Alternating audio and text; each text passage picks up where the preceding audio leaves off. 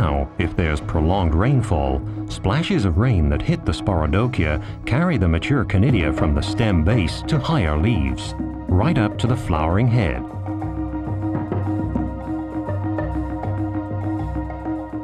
The pollen sacs suspended from the florets, the anthers, are particularly rich in nutrients. In warm, rainy weather, spores adhering to the anthers germinate rapidly.